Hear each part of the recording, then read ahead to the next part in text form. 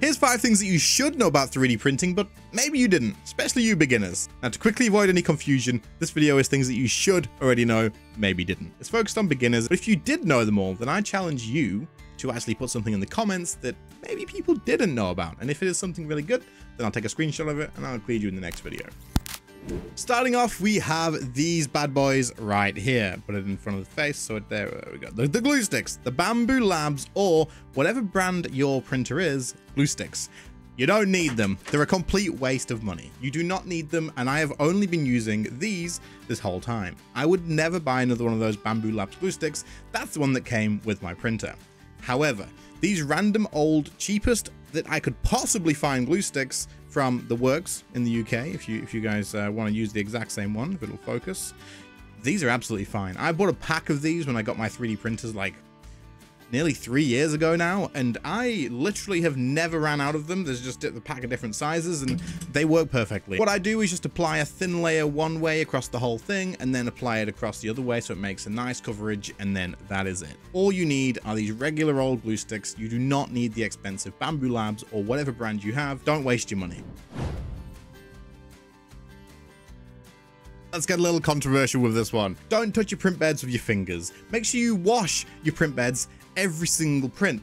Man, that is it, it's it, I don't get where this comes from. I swear, I I never look at look how bad this is. This has been probably about a month worth of printing and I just don't I, I, don't even care it'll be it'll be absolutely fine this will be absolutely fine once it heats up again the glue gets all melted and stuff it's not gonna be a problem now I never have adhesion issues with this at all now maybe this is because it's Bambu Labs I don't know but either way you don't need to worry too much about if you touch the print bed when you're taking something off or if you are going to be washing it every single time. In fact, I would argue that I have more issues with print adhesion, or I used to, when I used to clean this thing if I thought there was an issue. Instead, just whack another bit of glue on where it didn't stick and just it's fine. It's absolutely fine. The only time I will wash this is if, for example, there's like bits of dust or whatever on there, but I mean, it, it doesn't really happen enough for my printers because I use it all the time, 24 7.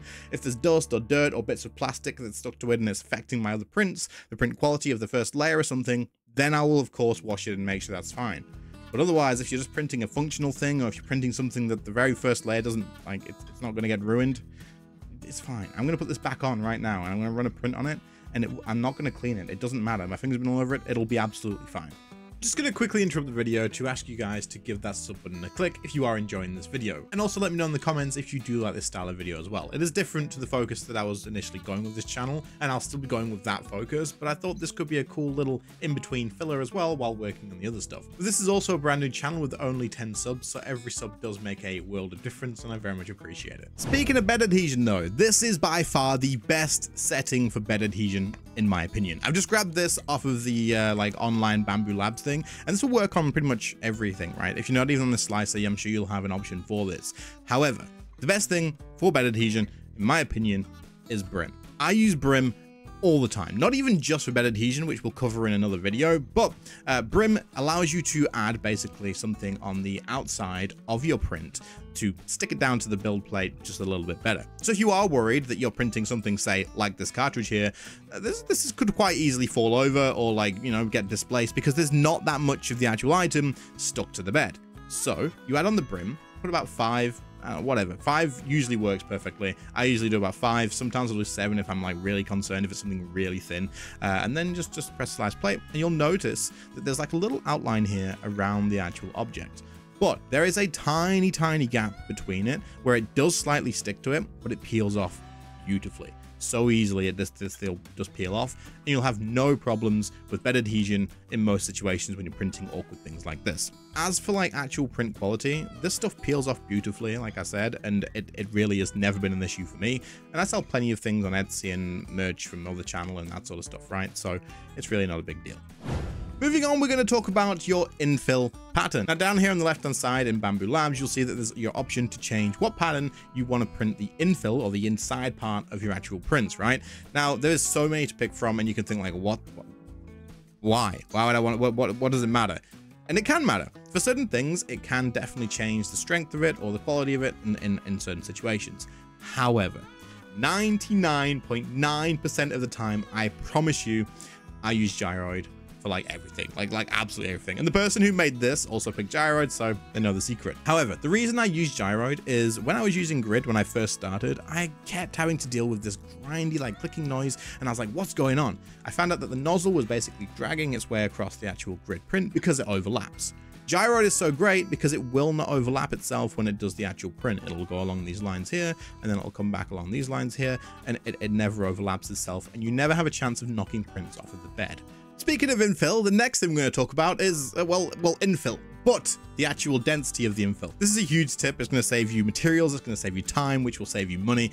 Honestly, it's definitely worth knowing about. And that is certain things will not need to have the default amount of infill density. Right now in Bambu Labs, the default, at least for me, I don't know if it changes depending on your printer or not, but 15% is the default that I always have. Now, when I slice this plate, you're going to notice that Mr. T-Rex here, uh, which is a wall-mounted sort of T-Rex that I printed for my son a while ago, is actually going to take a hell of a long time. You notice here it says it's going to take 9 hours and 31 minutes. That's a hell of a long time. It's also going to be 250 grams of uh, PLA, or just under 250 grams, but there's no reason, and in fact, I don't want this T-Rex to be in 15% density. One, if I bring it down to something like 7%, it'll print absolutely fine. Yes, it will be a little bit weaker, but this is going on a wall. I'm not throwing it around, I'm not moving it, I'm not playing with it, and it doesn't have a function other than to sit on the wall and look pretty. But another thing to consider as well is this will make it lighter, meaning that it can go on the wall way easier, and if you use mounting tape instead of like screws and stuff, it'll be all good. Now, just from changing this from 15% to 7%, we are on 6 hours and 43 minutes and 178 grams of PLA. This is huge. This is this is not even like 6 hours and 43 minutes. I don't even remember what the minutes in the 9 hours was, but it, it doesn't matter because the amount that has changed is huge. So, Keep in mind when you're actually printing things that you can change the infill density and it'll be absolutely fine. Like certain prints like this, it doesn't matter. I could probably even go lower on this. Like look at this. This looks absolutely fine. I could probably drop this down to like 5% and we wouldn't have any issues. But even if you just left it at 7, which I think is what I did last time, it, it's, it's all good. No one's to be touching this. It's out of reach. You want it to be light anyway. And also, if you are printing stuff to actually ship and post to someone, consider the fact that you'll be saving weight as well. So saving money in postage and stuff as well. So that was five things that I thought was worth sharing from things that I've learned along the way from doing 3D printing. If you can think of anything else that is worth sharing, then please do share it in the comments. I'll take a screenshot of yours and I'll pop it in another one. But I thought that whenever I learn stuff or whenever something comes to my head and I'm thinking, oh, that's actually something that was worth sharing, then I'll pop that video up and share it with you guys as well. Because when I was starting off I didn't even know where to look and a lot of stuff was explained in like technical terms that I didn't really understand and I was like what I don't even know what I'm looking at. It's really hard to get into 3d printing. I still have a ton to learn as well so anything you guys share will also help me out too. But uh, maybe I'll make a full sort of super easy beginner sort of guide and and dumb down everything super easy. I don't know. Let me know if you guys want that sort of thing. Could be useful I'll do some more of these as well whenever they pop into my head and I'll make another list or something. But I hope you guys enjoyed and I'll be getting back to actually making stuff and showing them off in the next video. Catch you later guys. Bye.